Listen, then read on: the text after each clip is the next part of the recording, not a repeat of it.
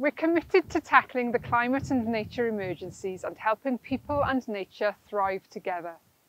Throughout the growing season, we cut grass and vegetation on the land in our care and assets we manage. By cutting grass short, we can inspect and repair flood defences, helping to reduce flood risk to our communities.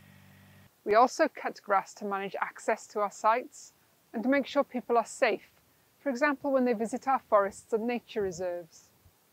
During May, however, mowing activities will be reduced as much as possible.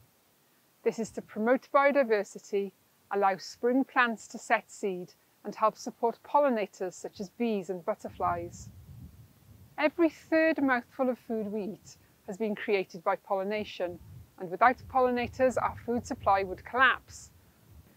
By making our sites as pollinator friendly as possible, we also provide food and shelter for other species and help to connect and improve the resilience of our green spaces.